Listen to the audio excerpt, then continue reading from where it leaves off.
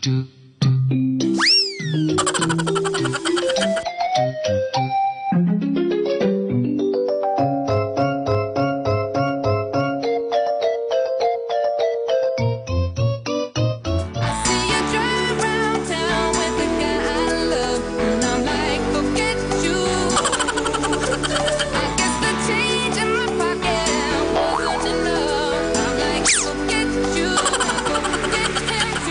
kasambahay, every once in a while, halos lahat sa atin ay nagkakaroon ng pagkakataon na magsalita in front of a crowd.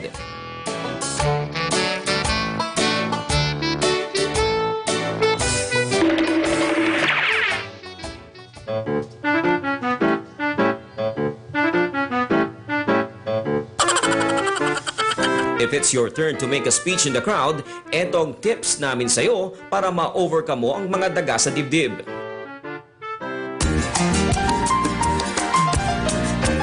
Your rehearsal. Kung makakahiram ng video camera o kahit cellphone camera, subukang i-rehearse ang iyong speech sa harap nito. Our biggest fear is looking foolish in front of everybody. Sa paraan na ito, pwede mo makita ang iyong mga pagkakamali at maaring i-correct ang mga ito.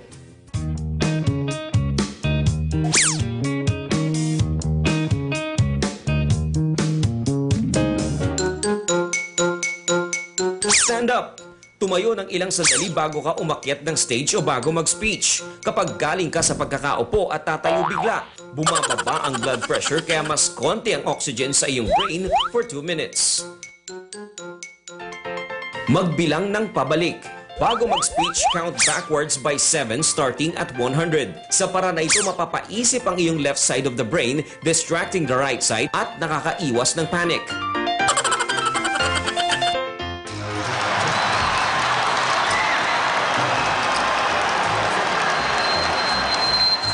Smile. Kahit hindi totoo ang iyong ngiti. The act of smiling tricks your brain that you are happy, making you feel calmer. Kung kinakailangan talaga, kumonsulta sa doktor ng beta blocker. Nakakabawas ito ng anxiety at nakakapagpabagal ng heart rate.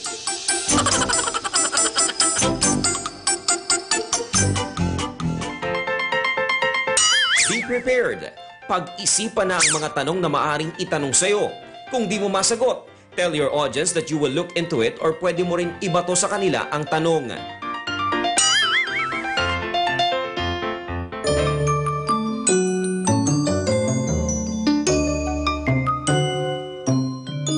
Did you know mga kasambahay ng fear of public speaking ay tinatawag na glossophobia?